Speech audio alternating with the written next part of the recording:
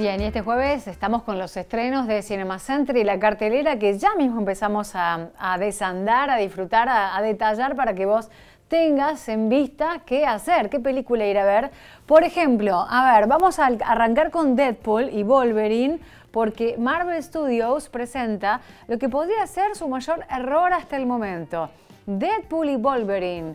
White Wilson ahora llevando una vida más tranquila deja atrás sus días como el mercenario excéntrico y moralmente flexible conocido como Deadpool. Sin embargo, cuando su mundo enfrenta una amenaza seria, Wade se ve obligado a ponerse el traje de nuevo, aunque con cierta reticencia. De alguna manera, tendrá que convencer a un Wolverine igualmente reacio a, bueno, la verdad es que las sinapsis son un poco pavas, porque esta película ya sabes de qué se trata y ya vas viendo las imágenes de lo que trata, ¿no? De estos, de estos héroes o superhéroes o antihéroes como eh, Deadpool y Wolverine con Marvel Studios estrenándola.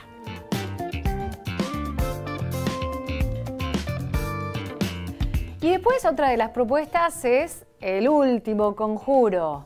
Devastado tras la muerte de su esposa, Naoto no encuentra consuelo. Su hijo, tratando de consolarse, trae a casa un dedo de su madre fallecida, que va a ser solo el comienzo de una serie de eventos terroríficos.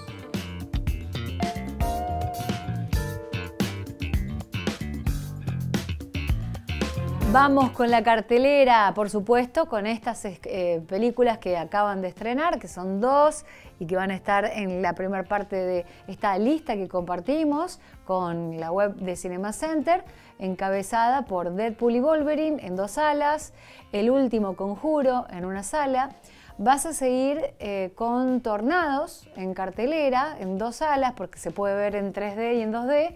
Un lugar en silencio, día 1 mucha peli de terror o thriller. Y siguen en pantalla Mi villano favorito 4, Intensamente 2 en dos salas. Esa es la cartelera de Cinema Center que está a tu disposición renovada a partir de este jueves con nuevas propuestas.